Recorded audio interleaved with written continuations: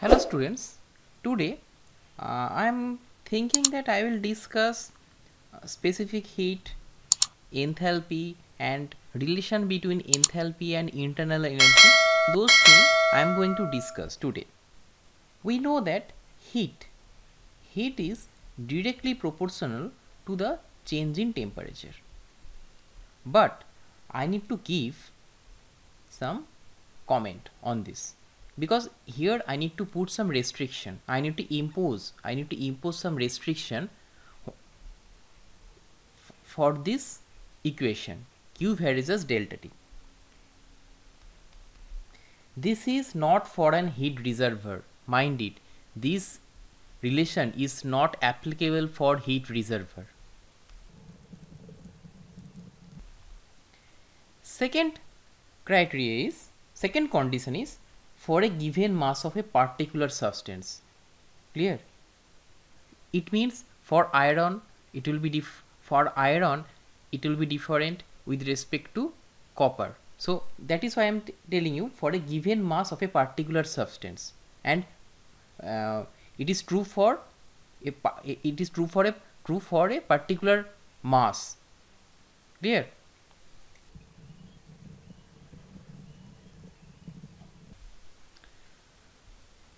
it means if you calculate if you uh, calculate heat for a 5 gram of iron okay and again you are you are, going to calculate the change in heat or something like this uh, for uh, 10 gram of iron then he, uh, calculated heat will be different. So that is why i am i have written that for a given mass of a particular substance and that is and it is not invalid if you are going to calculate heat for uh, iron then copper. So in that case the uh, calculated heat will be different.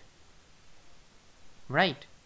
So that is why I have written for a given mass for a particular substance. Clear? Now so q varies as delta t. So when so that is why I need to put a constant right here right? So now so q varies as delta t equal to c?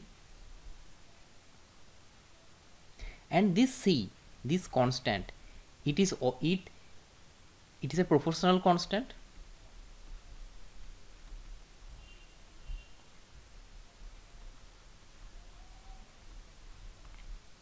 and it depends on the nature of nature and mass of the substance. That so this constant will be dif uh, if the, it will be different for iron and copper. Okay it can be same for both iron and copper. So that is why i am telling you this proportional constant depends on the nature and mass of the substance. Is that clear? Good so now I am going to write the differential form for this equation.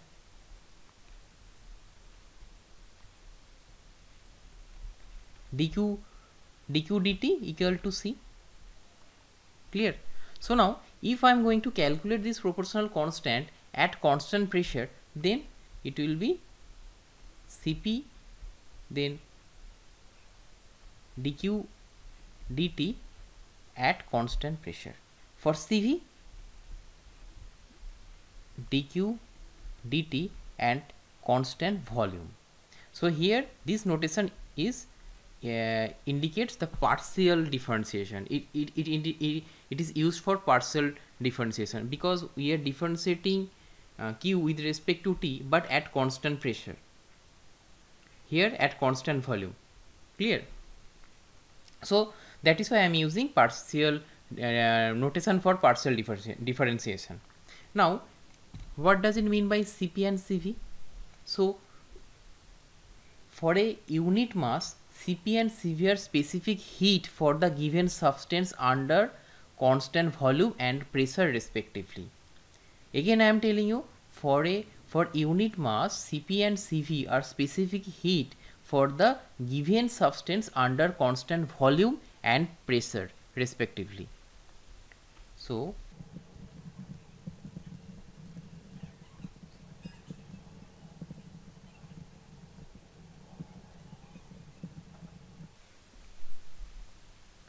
clear?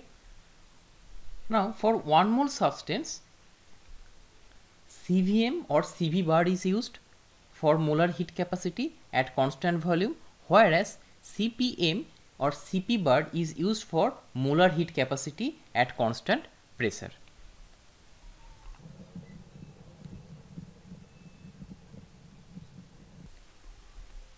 And CVM or CV bar indicates molar heat capacity at constant volume. Is that clear? I think it is clear. Now I am going to uh, discuss how enthalpy a state function is like how I will bring enthalpy in thermodynamics and why it is required.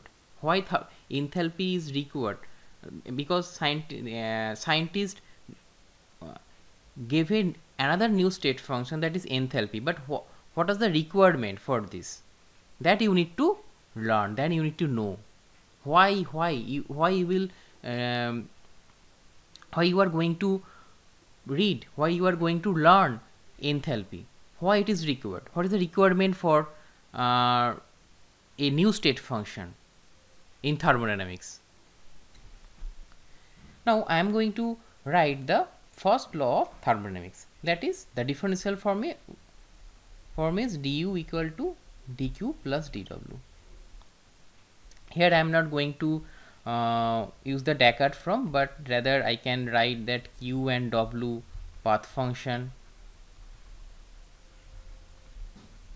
u state function. That is a very good practice whenever you yeah, whenever you you write the you are going to write the uh, first law of thermodynamics so if you in, in the side note if you mention that u and w path function u state function that is very good practice believe me that is very good practice.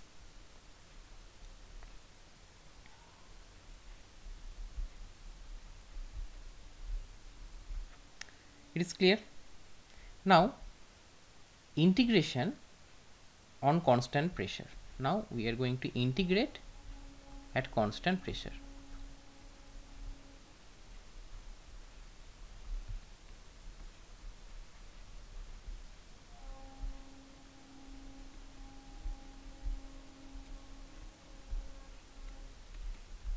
I think it is clear.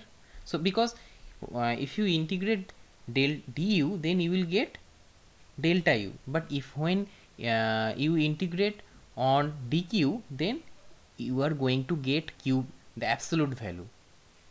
You are not going to get delta q. That is completely invalid. I already discussed in my previous lecture of thermodynamics. Watch it. Delta u means u2 minus u1 so it is the difference between two state final and initial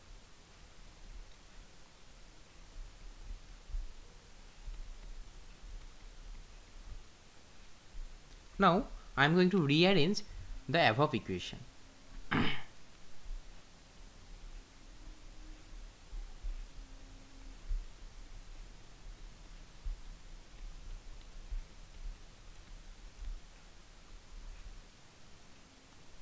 Now this u plus pv u plus pv the sum of internal energy and pv work done that is enthalpy H that is enthalpy. A new state function. Here uh, I introduced uh, a new state function that is enthalpy. So it becomes H2 minus H1 equal to QP or delta H equal to QP right? So or I can write dA differential form will be dH equal to dqp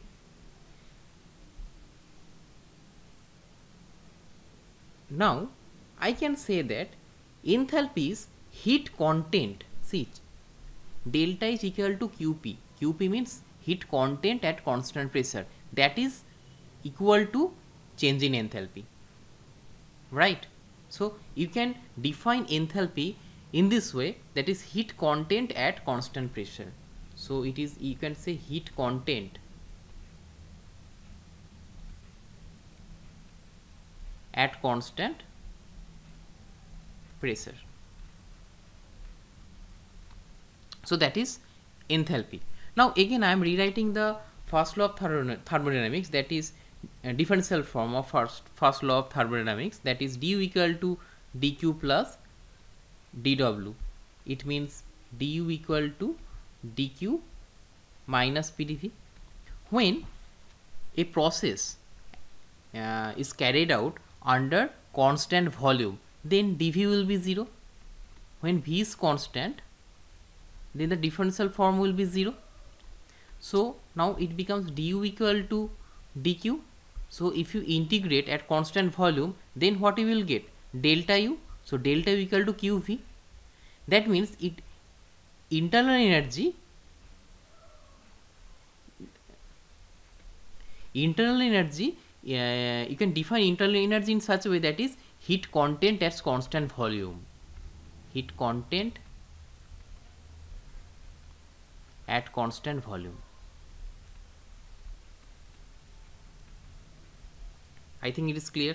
So enthalpy is heat content at constant pressure and internal energy is heat content at con change in internal energy you can define in such a way that is heat content at constant volume where uh,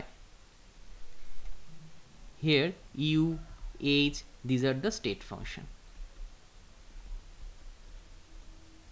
sorry uh these are the state function. So here cyclic integ integral of u will be 0 cyclic integral of n dh will be 0 cyclic integral means because u and h are state function so when initial and final st uh, state states are same in in cyclic cyclic uh, process. So the this is a.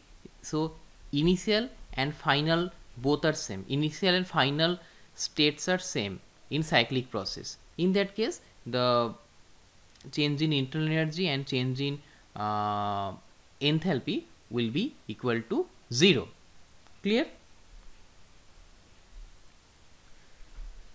Now I am going to give another relation between I'm going to uh, present another uh, equation which which is the relation between enthalpy and internal energy.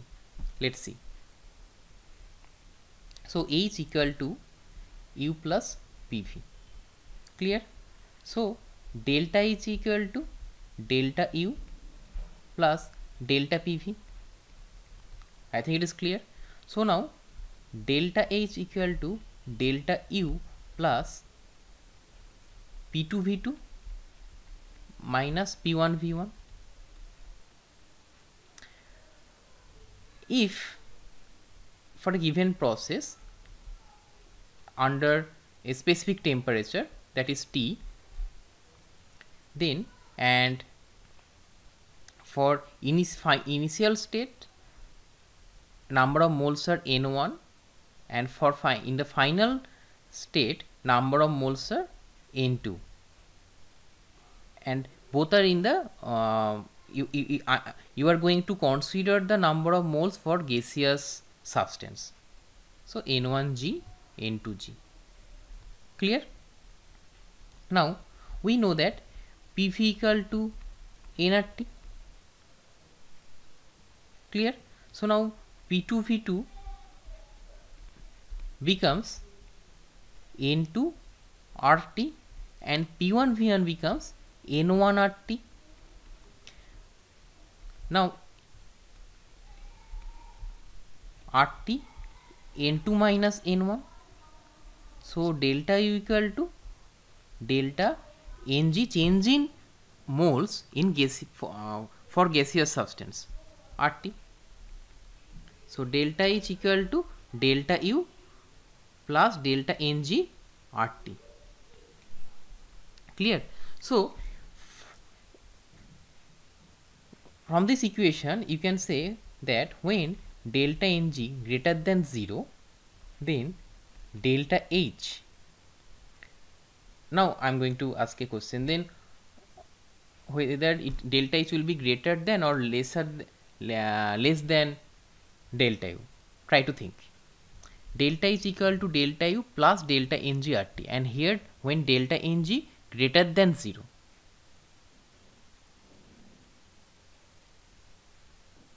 just think. Delta Ng greater than 0 then obviously delta is greater than delta u. When delta ng less than 0 then delta h less than delta u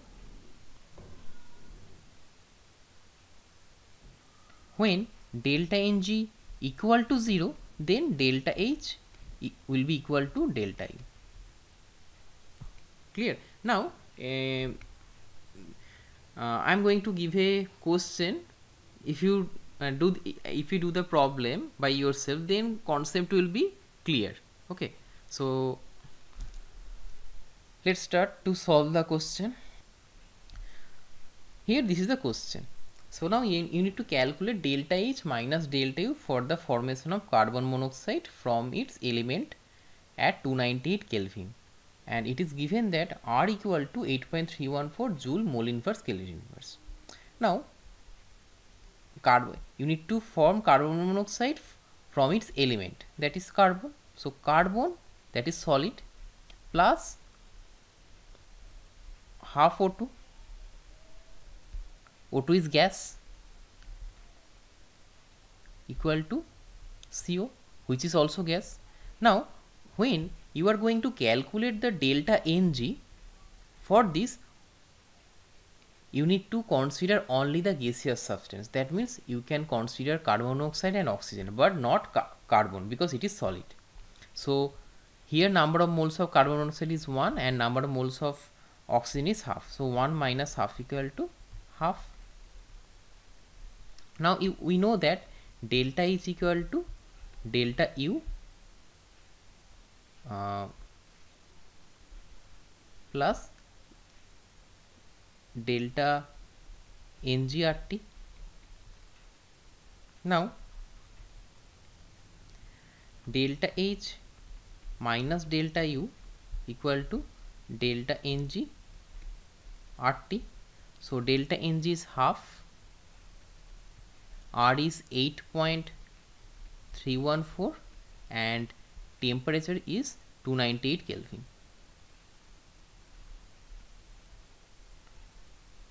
So see what is the unit of half that is mole? What is the unit of a R that is joule mole inverse Kelvin inverse? And what is the uh, unit of temperature that is Kelvin? So see Kelvin Kelvin gets cancelled out mole mole gets cancelled out. So half into 8.314 into 298 let's calculate. So it is 1238 0.78 joule. I think it is clear now. So answer will be B. This is very easy problem. I think you have you understood. Okay.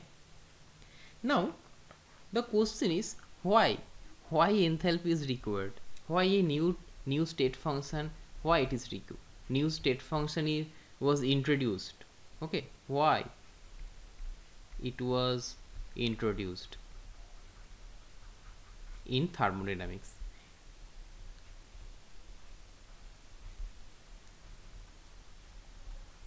Clear so can you think by yourself? Try to think why it is required. Because uh, already I told you that enthalpy is heat content at constant pressure pressure and uh, internal energy is heat content. Change in internal energy is the heat content at constant volume. Fine. Now from these two equation you are you should get the answer. Okay? You should get the answer but now i am going to say i am going to uh, discuss uh, this.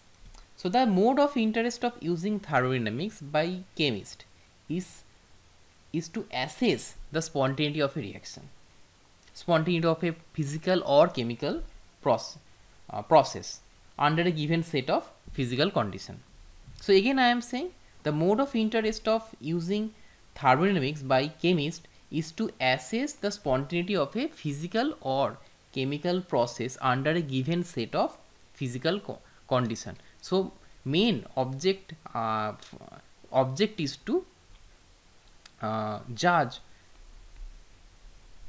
We need to judge spontaneity of a process.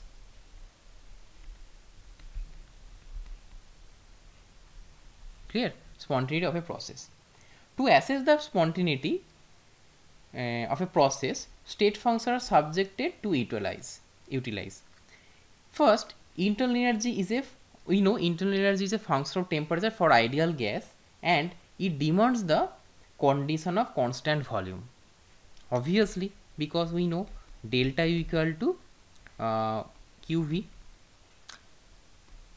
so internal energy demands the condition of constant volume. And pre, uh, long back that time scientists thought that uh, uh, if internal energy is negative that means uh, that is exothermic process and internal energy if change in internal energy is positive then then it is endothermic process process.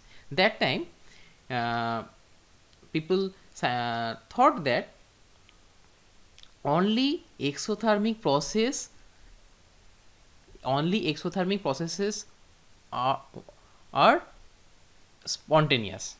Endo, endothermic processes are not spontaneous. So that time that time uh, it was believed that only exothermic process is uh, spontaneous and endothermic processes are not spontaneous.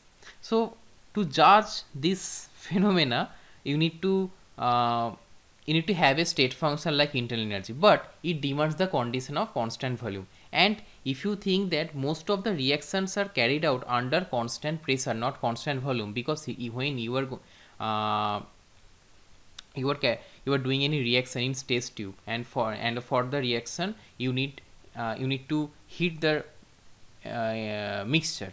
Okay then volume will not be constant volume will change but uh, pressure will be constant. Because if it is open system pressure is constant. Okay we know our atmospheric pressure is 1 atm so clear. So pressure is constant. It, and it is very easy to uh, carry out any process carry out any process at constant pressure. So but inter, uh, inter, change in internal energy demands condition of constant volume. And it is to be noted here the most of the process in practice are carried out under constant pressure. As a matter of fact a new state, state function is to, be, is to be developed which will function under constant pressure and that is enthalpy because change in enthalpy is heat content and constant pressure. So job is done. Yes because we, we, we have the a state function that is enthalpy uh, which will function under constant pressure and that time uh, spontaneity of a process was judged by the sign of change in enthalpy. If ch in change in enthalpy uh, was negative then it is spontaneous process uh, th that is exothermic and if it is positive then process is not feasible process is not spontaneous. Okay. Clear? But that is not true but uh, that time it was believed. Okay. I think it is clear. Now we are going to uh, set up a relation between Cp and Cv that means heat uh, molar heat uh, heat capacity at specific heat at constant pressure and specific heat at constant volume volume we know uh, we have already we have already to, uh, told that yes Cp is dq dt p and Cv is dq dt v. So dq p is dh and dq v will, will be du. So this equation uh, is going to take the form that is dh dt p and du dt v. It is very it is clear? I think it is clear now. So CV is dh dt p and CV is du v clear now we know that H equal to U plus PV is it clear? Fine. And CP is P. Now DH plus uh, sorry U plus PV so here just I am uh, substituting the value of H by U plus PV dt now it, it is del U del T P plus del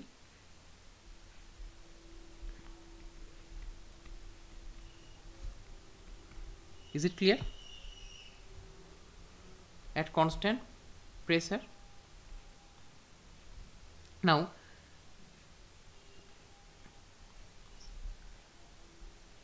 del u del t is del u del t is cv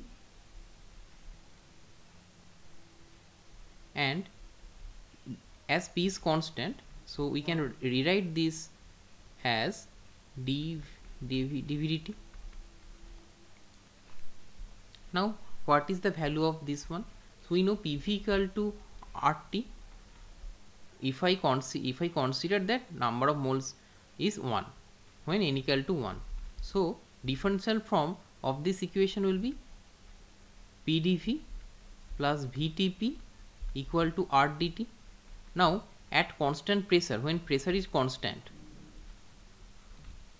then dp will be 0 so PdV plus 0 equal to RDT.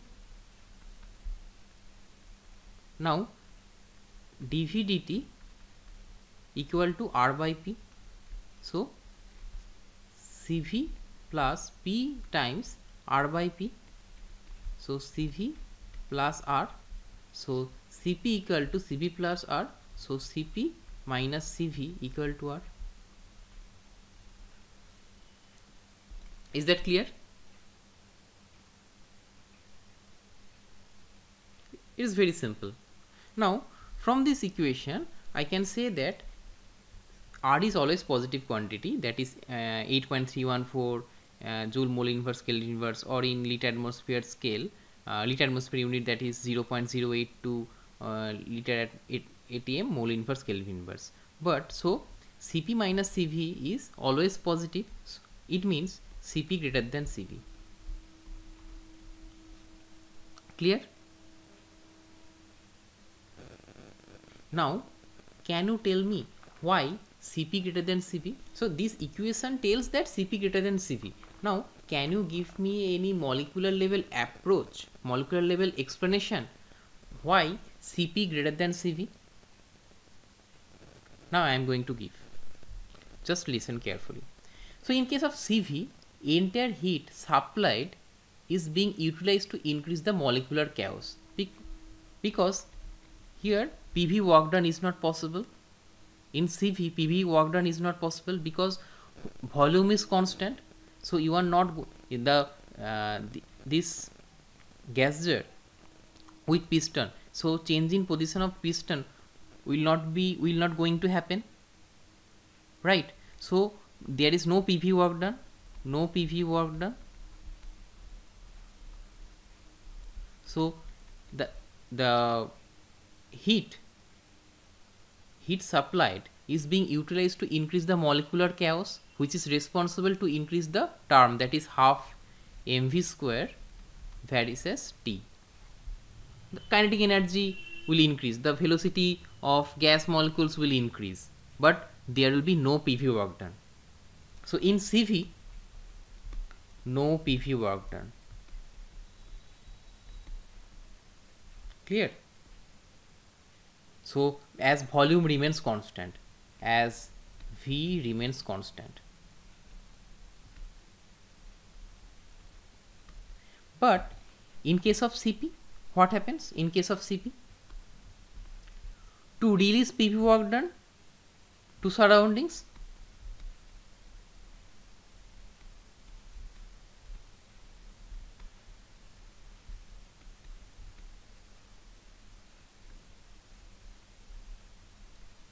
and again due to expansion average distance among the gas molecule will increase and to overcome the intermolecular attraction heat is being utilized. Okay. So that that means heat is being utilized to increase the molecular chaosness.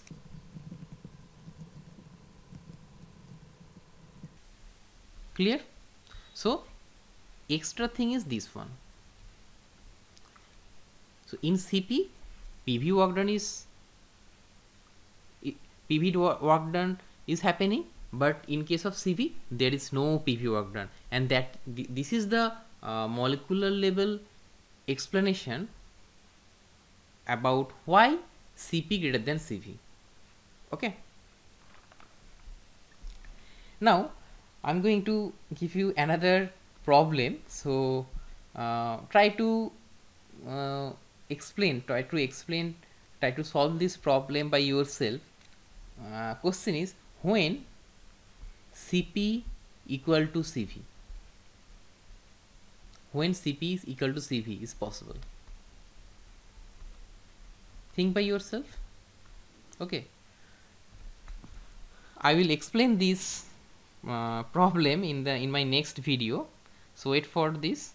So try to think that when cp equal to cv that is very uh, it, it, it will it is a very unique uh, at, at, at a very unique condition cp equal to cv okay try to think when cp equal to cv okay so today i'm going to end uh, end here